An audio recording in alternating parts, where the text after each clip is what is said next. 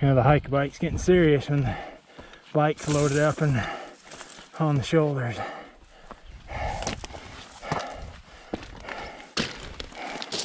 Whew. Oh, Holy cow, look at all those leaves. It's a little breezy. Yeah, race you little dog.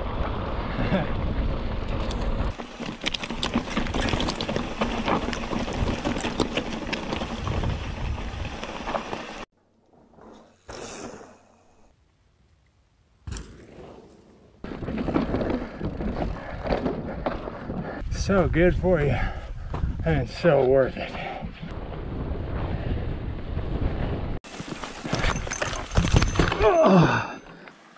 End of the line.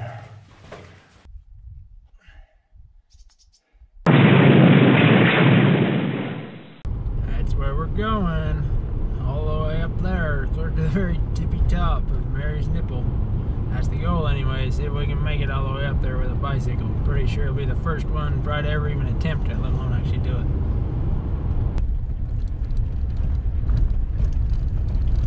The nipple right there straight ahead. A little ways further to drive and then we start to ride. Man, look at this fall colors. Perfect time of year to come up here. It's dry, a lot of nasty deer hunters, but oh well. Can't let them ruin it for me.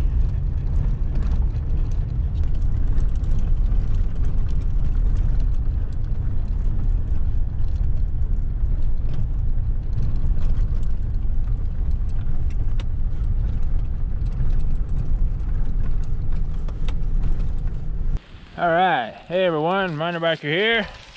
We're up on Skyline Drive. Hush up, dog. Up on Skyline Drive to the north and east of Salina, Utah. We're up in what's called Gunnison Valley. This is the Skyline Drive Road right here. This is looking to the north. This right here is the boundary between Fish Lake National Forest and Manti La Sal National Forest. This is White Mountain up here. And just up here, you can't see it because of the trees where we're parked, but right up here above us to the west is Mary's Nipple. And that is the goal for today, is we're gonna actually try and be, as far as I know, and I would be, I would feel pretty safe put betting some good money on it that I'm be the first person to ever take a bike up to Mary's Nipple. And that's what we're gonna try and do today. I've hiked it before, most of it's it's not bad until you get to the last stretch of cliffs. Right up that last little bit it is crazy steep. It's hard to even hike up normally so trying to haul a bike up and down that's gonna be really tough and may just not even be doable but we're gonna try it anyways. And the rest of the trail will be a lot of fun.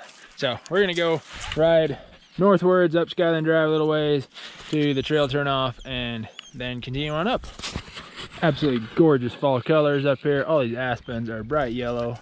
It is beautiful. It is very dry. It's been such a dry year, but it's still gorgeous up here this time of year. Park down the road a little ways on purpose so have some time here just easier pedaling on the road to get my legs warmed up. So once we start up the trail, it's steep. I want my legs in uh, want them to be all warmed up and ready to go by then. Alrighty, about a mile and a half up the road from the boundary between the two forest sections. That's where you turn off to head up towards the nipple. Starts off as double track for a little bit, turns to single track later. Whew.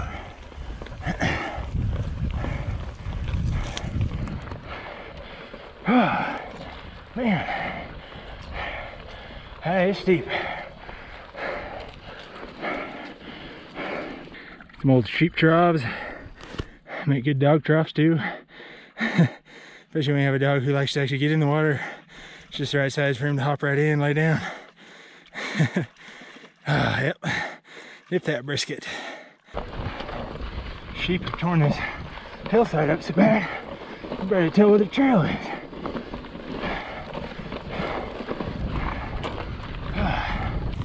Just say there's gonna be a very healthy amount of hiker biking to get all the way up here.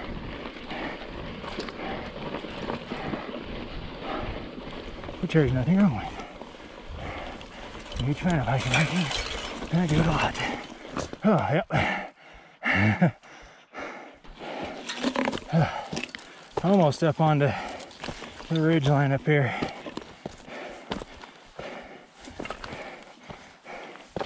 There's actually some really pretty nice cruising up here on the ridge. For a bit, and then you start climbing again up to the nipple itself.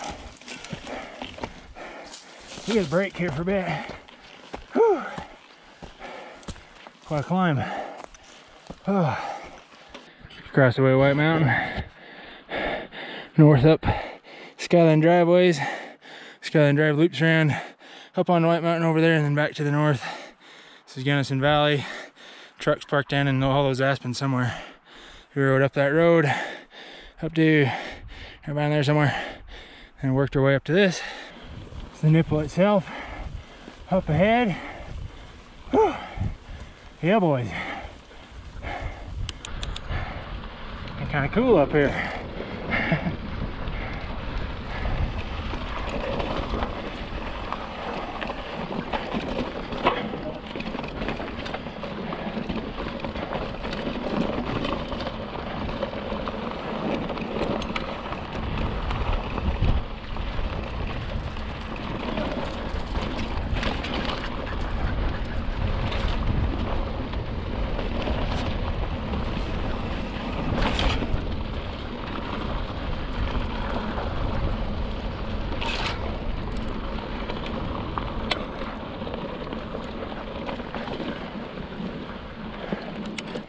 You know the hike bike's getting serious when the bike's loaded up and on the shoulders.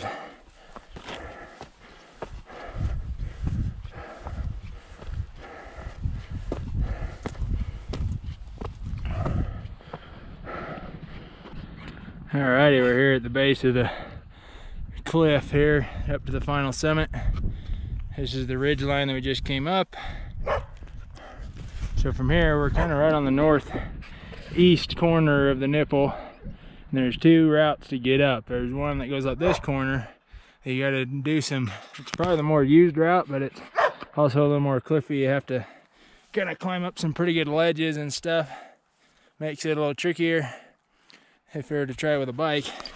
Or you can cut across the flank here over to the southeast corner. And there's another route over there. And I'm thinking will be the if there's one I can get a bike up, that'll be it. I don't know if we'll get the bike up or not. We're gonna try.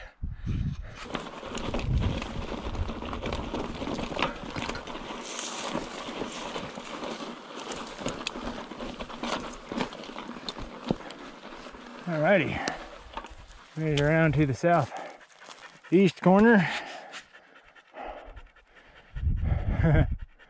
yeah. Alright, so made an executive decision that uh, I'm back here again and looking at it in person and stuff. As much as I'd love to get all the way on the top and get a picture of my bike next to the high elevation marker on the top of Mary's nipple. Hey, quit barking. I just don't think it's worth it.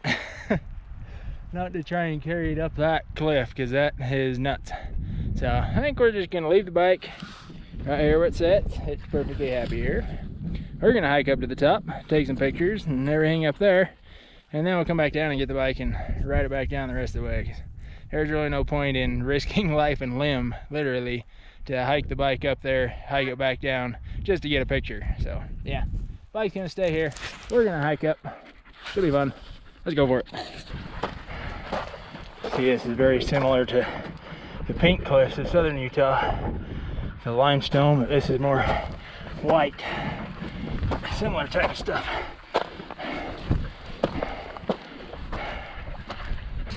Check out them fall colors down below, huh? this is west or east Willow Creek. So when we drove up, yeah, I'm glad I'm not trying to carry the bike up this. That would be dangerous and ridiculous. I say though, these Ride Concepts Powerline shoes, they're pretty good hike shoes.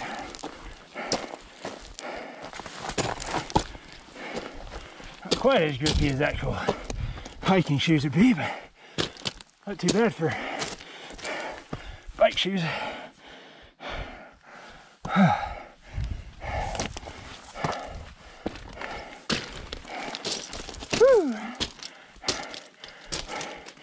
nice little crevice here, sticking off the other side. Peek around.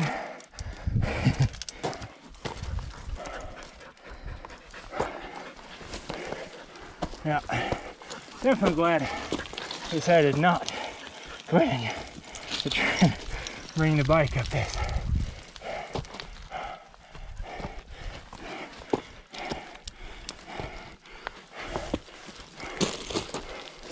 Hey, not only would it just be ridiculous, but frankly, would not be very smart. You'd be really risking a nasty fall, or very least, dropping the bike and damaging it.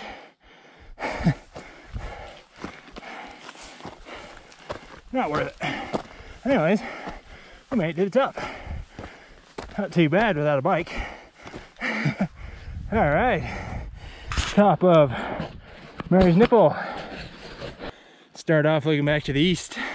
So this is all Gunnison Valley below us. The truck is parked roughly down there somewhere.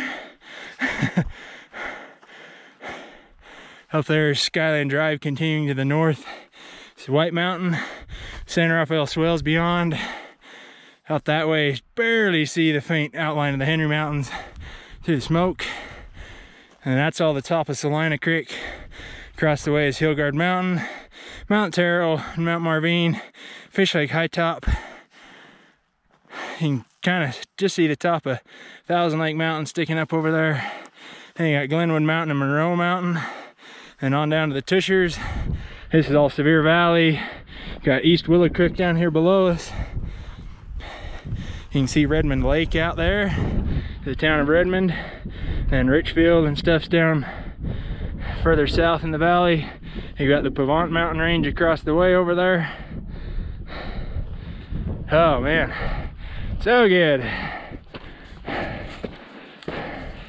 It's kind of like a very little miniature plateau up here on the top. Now we can see off to the north a bit you can see this is so this is the 12 mile canyon comes up from mayfield. Then you've got Sanpete valley. You can see mount nebo up there in the distance. Over there you can see like towards yuba lake fool creek peak. If it was a little more clear you'd be able to see even farther. But a little hazy. Not too bad. Oh it's pretty. It's kind of chilly up here. Of course it is the 2nd of october. A lot of years this would have snow on it up here already you wouldn't even be be here. All those yellow aspens down in East Willow Creek, just beautiful.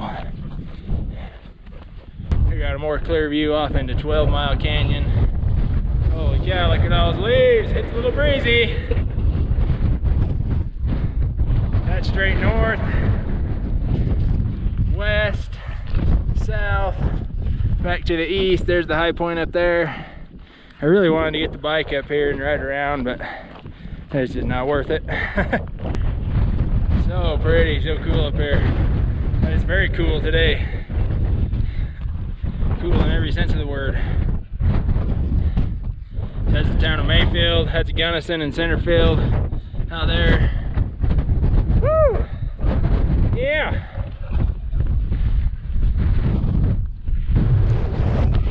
Alrighty trying to go down. This is the part I'm especially glad I didn't bring the bike for. I might have been able to get it up.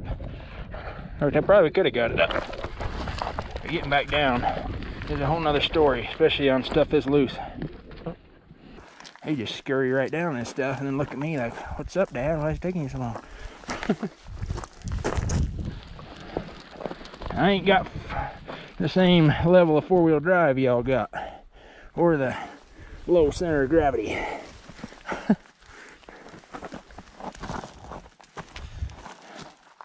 Kind of nice having the bike clothes on though. Kind of help protect my hands from all the sharp rock. And put my hands down.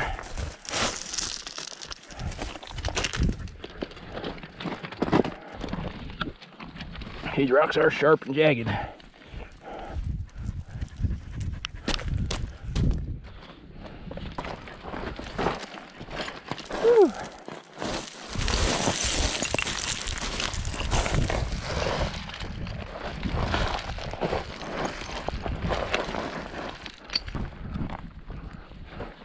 Got down the extremely steep part. Now we're just down to the very steep part.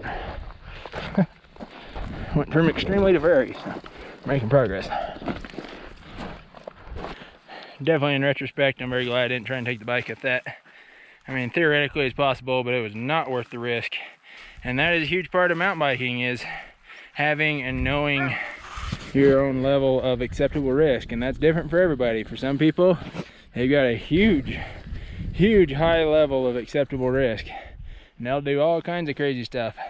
Other people, it's really low level and they just don't ever like to even come close to pushing their luck and play it really safe. And you just gotta know what works for you and and everything and and let other people do their thing a little bit because everybody's a little different. But yeah, trying to take the bike up that and back down it. Up, probably could have done down that could have gone really, really badly. Just not worth it. Not just for an Instagram post or something and some video content of actually having the bike on the top. So, yeah. Anyways, that was fun. Now we get to ride back down. Let's do it.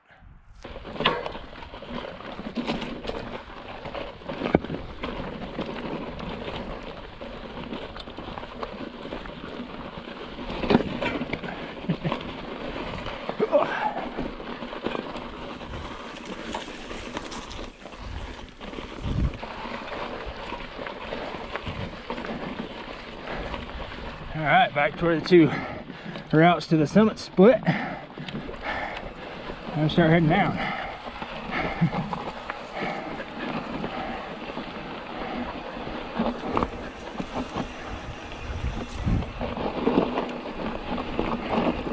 It's steep and very loose.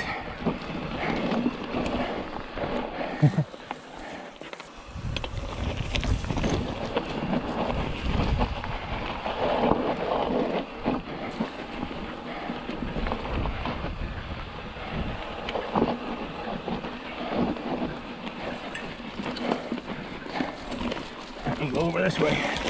Get around those couple down trees.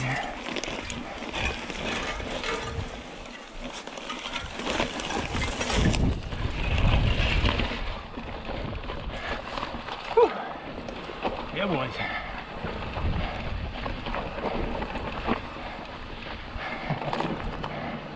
That right there is why I put the angle set no longer fork on this. don't think I could or would have come down that with a 68 degree head angle and only the 120 mil fork on.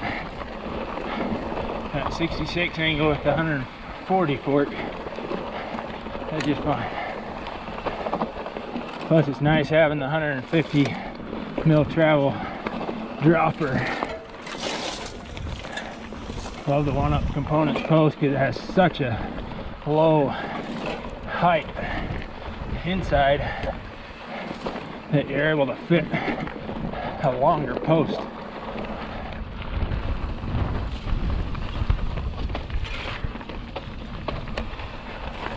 Just how snappy and nimble this bike is too. Super fun. Woo!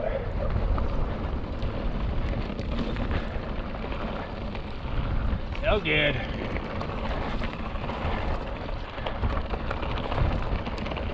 Shredding up here in the old hardtail.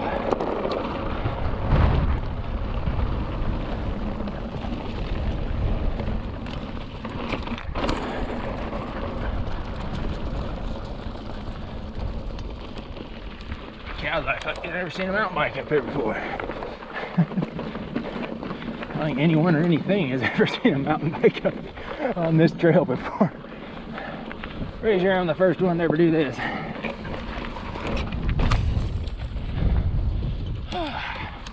So pretty up here.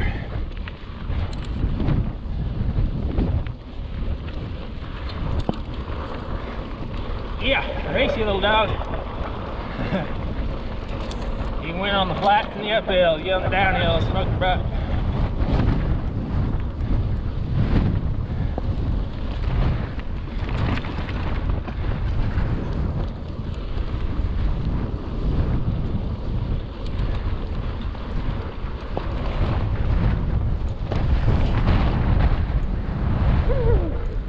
Cow pies.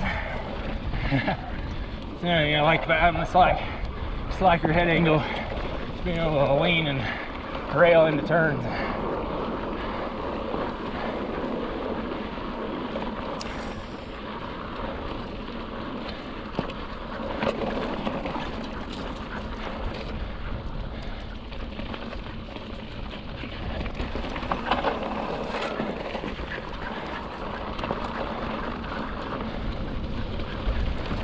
Woo! Beautiful view looking up Skyline Drive.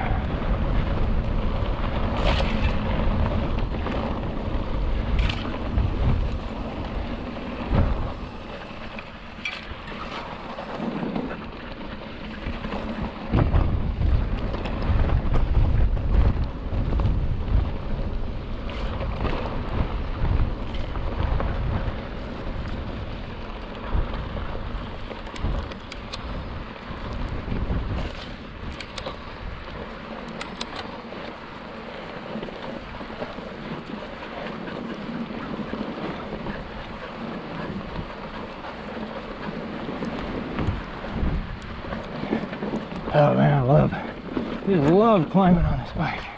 Pedals so freaking good.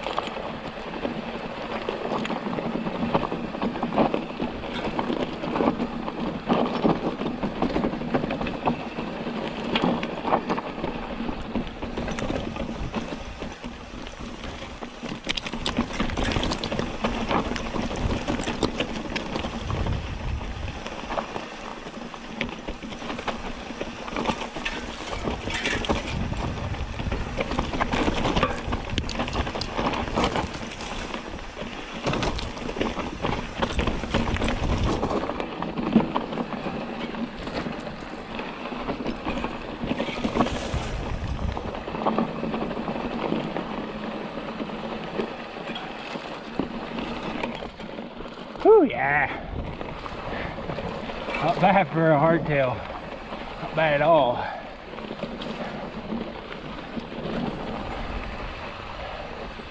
Slight head angle. Nice having that big 203 brake rotor up front too. Go super slow and just use that big brake to hold you back.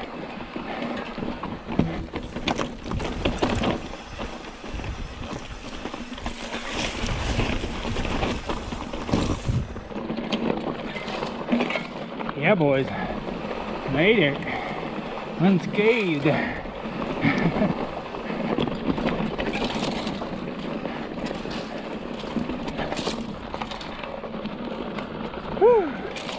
Nice. Good descent, especially on a hardtail. Steep and loose, kind of chunky. What makes you be good with your brakes.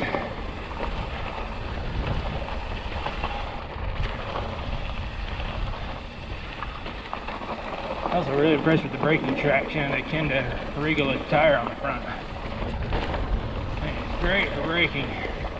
Plus it's got a pretty squared up profile from having such a wide rim up there. That helps it too. Has a lot of tread in contact with the ground. Now we're down into where I got all ripped up by sheep. Thankfully, I think most of this sheep poo is fairly dry. I think we'll have too much sticking to tires or flipping on the legs. It's still nasty and just sad that they let so many sheep stay in one area so long that they just torn it up like this.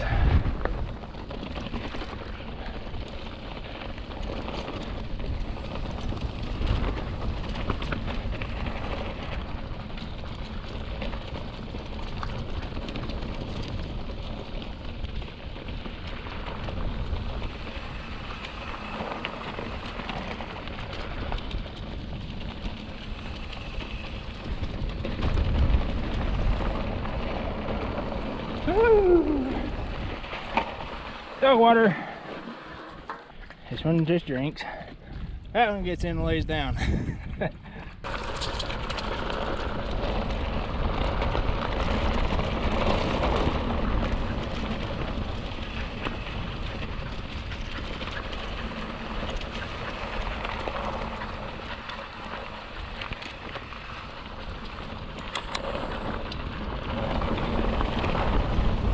Back out onto the four of the trail.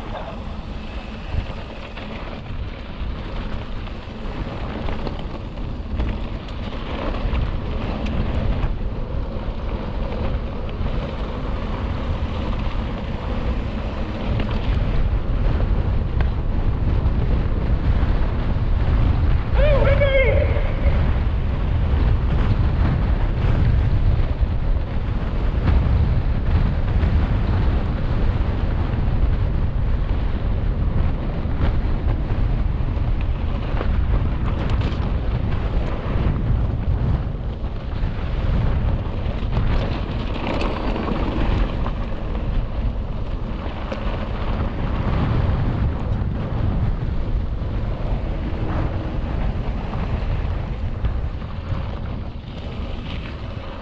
Back on the main Skyline Drive Road.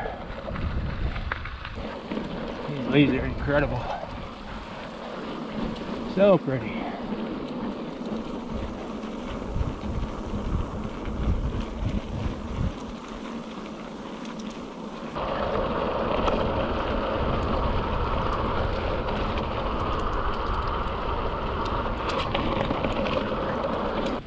Alrighty, made it back to the truck. Uh, it was quite the little adventure getting up there onto Mary's Nipple. I say, I've hiked that before and wanted to try it with the bike. Definitely, it was all great, hunky-dory, tough hike bike to get up, which is nothing new for me. I like it.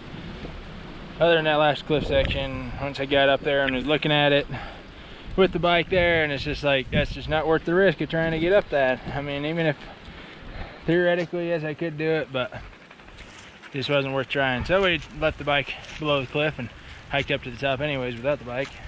And then that was super fun coming down. Super stoked on how the Fezzari Wasatch Peak performed. I mean, that would probably not be the typical kind of riding most people are doing a hardtail, especially coming down stuff that steep and chunky, but this thing does awesome. Definitely helps having the slacker front end, the longer fork, and that great big brake rotor up front so you can just ride that front end real slow and just pick your way down. Anyways, thanks everybody for watching. Remember to subscribe to the channel if you haven't already. I really appreciate it. If you have already subscribed, thank you so much. And yeah, check out the other videos on the channel and keep digging up new places to ride.